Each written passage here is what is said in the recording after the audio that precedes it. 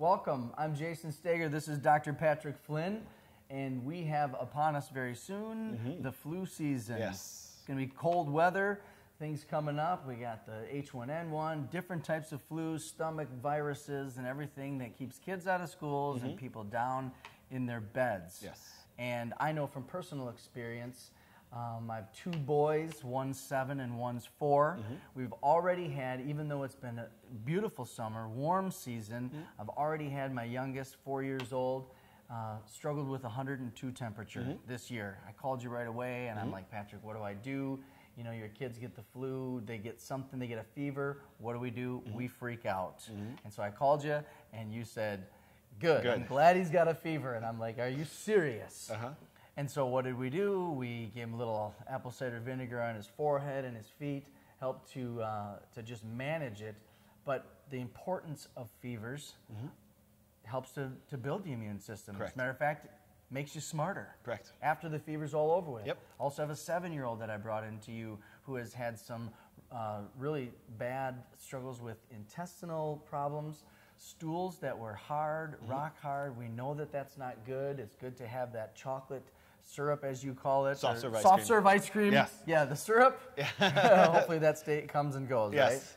It's the chocolate soft serve ice cream type of stool that you're looking for. You have done an amazing job with my son. I am personally grateful for that because he is doing great, and we're looking forward to a more successful time during this season. You've given us hope for this coming flu season. Mm-hmm. You've given us hope for the future. Tell us more about the importance of a strong immune system, how to get that. Yeah, well, that's the big key because what happens is when you look at the changes that your sons have went through, it's not because we haven't done some miraculous things with them. Right. What we started to do, what we've talked in so many videos, is the fact that the reason why people have problems is because if their system was supposed to be working at 100%, it's working at 50%. Yeah. And I don't care what virus is. I don't care if it's just a basic flu virus. I don't care if it's a swine flu. I don't care if it's just a simple bacteria. Any of them can kill you in a heartbeat. Mm-hmm. But the one thing has to exist there. Your immune system has to be compromised, mm-hmm. which means has to be low, okay? So when we look at saying, how do we bring up our immune system? Well, you don't really bring up your immune system, you get it back to normal.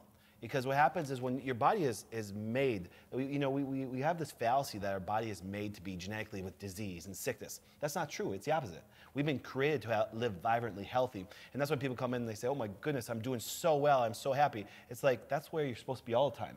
You just don't know how to build your immune system. So what we're going to do today, and we can actually use your kids as an example, is what we do to help get the immune system back to normal. Yeah. Okay? And so then now, because right now, what season we come into? Flu season. So, uh, and you said the key word. You know how we get parents to do so many things? Not us, but let's just say our healthcare profession, profession as a whole is fear. yeah. You call me up, nervous, scared, and I'm like, good. You know, and Yeah. you're like, freaked you out a little bit, but I'm like, he's got a fever. Good. You know, that's one of the best health. Because here's one thing when you look at a fever, for example, I'll give you the simplest example. Would you ever wash your dishes in cold water?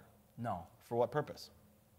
because hot's better. To do Kill bacteria. That's right. Simple as that. And so what happens, it's one of our number one defenses against microbes, okay? It's right, heat. For example, I mean, uh, even people that are patients that are watching us today, sometimes when people get a fever, I say, listen, throw them in a hot bath. Oh yeah, you Bring it, that's Yeah, right. Yeah. That's what I told you to do. Bring it up a little higher to kill off any microbes, any bacteria or virus. Yeah. To do what? To allow to assist the body to kill it off naturally. Mm-hmm. And the great part is your immune system is just like a muscle. If you don't work it, it becomes very weak. Right. Okay. And the one thing, so we really got to look and start with is where's most of our immune system reside? Okay. Well, now when we look at it, a really good way to understand the actually whole flu season is post summer. Yes, temperature changes, and yes, that causes our body to adapt to the change. But we really got to look at what happens. We start to get into the holidays. So, for example, we start getting into the holidays. What's the number one thing we do during holidays? Gather together. gather together. So we have more exposure to different viruses. I had this example the other day, for example, that uh, let's say that I'm going to go travel to Mexico. Okay, if I drink their water, is it a possibility that I could actually throw up from it? Oh, yeah. Get diarrhea? Yeah. Well, sure. Because why? My body has not adapted to the surroundings there. Right. We have to stop looking at that something bad. Yes. Do we feel like junk? Sure, we do. Do does a fever? Did Sam feel good the other day with fever? No, he Was he the same person? Wiped out. No, exactly. not at all. But that's a body's adaptation to a new thing coming into itself. But if it goes through it naturally, that what I mean by naturally is without interfering with it. Yep. What ends up happening is it can now adapt to it, build immunity to it. Next time it comes in contact, guess what? He's going to fight it off. That's right. And you won't even know any symptoms from it that way. Right. So we look at this. So let's look at where most of our immune system resides once it's mature. Yeah. Well, that's our digestive tract. Okay. Okay. The one thing that can affect our digestive tract more than anything is what? Food. Food. Okay. We're getting the holidays. Yeah. We have exposure to more viruses because we gather together. But on top of it, what do we eat? Sugar. That's right. so we got Halloween, Yeah. we got Thanksgiving, Right. we got Christmas, where Yeah. people only eat good organic food. yeah, where people are actually just pounding their body with sugar. Yeah. Okay, and the fact that is, you say, why is sugar our main actually aspect of it? Because when you drink a soda, do you know you cause your immune system to divert towards digestion so much that now the, the, the immune system isn't out fighting all little things that are in our body. Okay, that's why my, my oh. analogy is if you have a soda, it's like shutting down your immune system for three hours. Sure. It's like like sidetracking the That's right. counter clerk so you can rob the gas station. That's exactly right. And so what happens is, so we got to look at how can we start to rebuild our immune system. Well, we got to look at how we've done to destroy it. First of all, we mm-hmm. do sugar, we do antibiotics, mm-hmm. okay, and we never Oh, yeah. restore those normal bacteria. We never restore the proper immune function that way. Yep. So the one thing you got to look at: start eating more fermented foods. Mm-hmm. Start eating more proteins. Yeah. I mean, proteins are essential. I mean, it, the AARP came out with a wonderful study about the fact that the amount of protein consumption in elderly has gone massively down.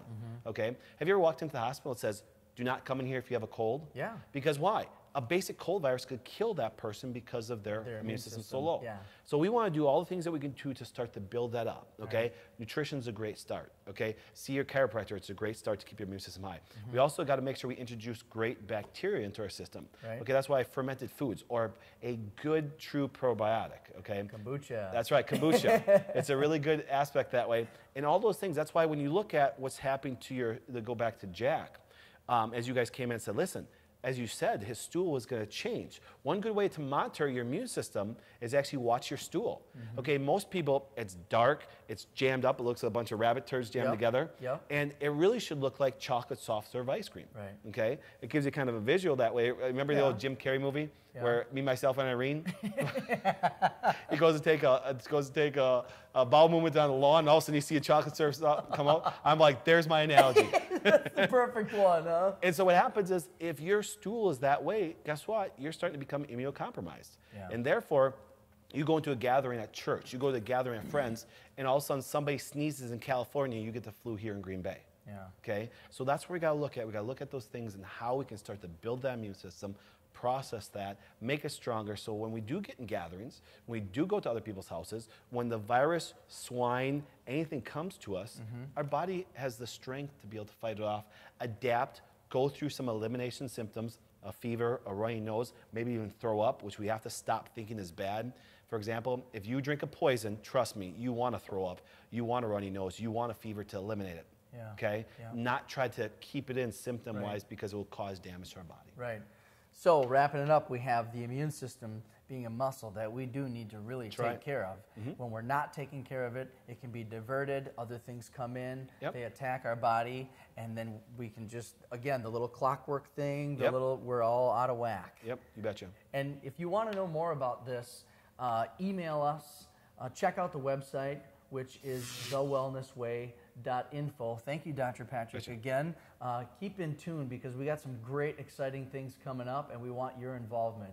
So once again, for Dr. Patrick Flynn, I'm Jason Steger.